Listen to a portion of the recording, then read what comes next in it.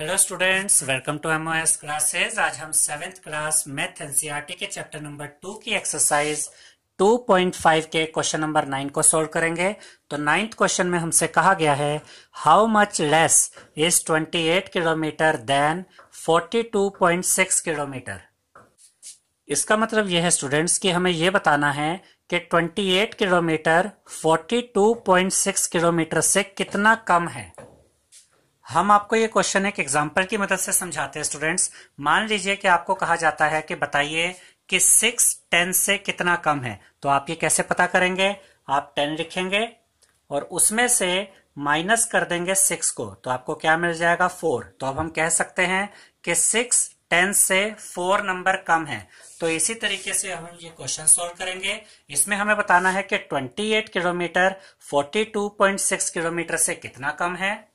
तो इसके लिए हम 42.6 किलोमीटर में से 28 किलोमीटर को माइनस कर देंगे तो हमें आंसर मिल जाएगा। तो यहाँ पर हमने लिखा 28 kilometre is less than 42.6 kilometre by यहाँ पर हमने लिखा 42.6 और इसमें से माइनस करेंगे 28.0 को।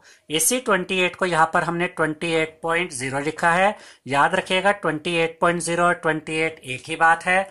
अब देखिए स्टूडेंट्स सिक्स में से ज़ीरो माइनस करेंगे तो सिक्स बचेगा तो यहाँ पर सिक्स आ गया डेसिमल एज इट इज़ आ गया है।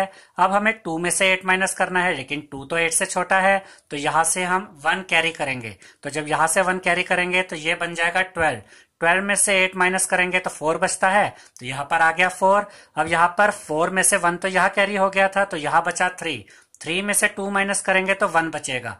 तो हमें आंसर मिल गया है फोर्टीन पॉइंट सिक्स किलोमीटर, यानी कि twenty eight kilometre, forty two point six kilometre से कितना कम है? फोर्टीन पॉइंट सिक्स किलोमीटर कम है। आई होप स्टूडेंट्स आपको हमारा ये वीडियो पसंद आया होगा। अगर आपको हमारा ये वीडियो पसंद आया है तो इसे लाइक, शेयर और सब्सक्राइब कीजिए। Thank you.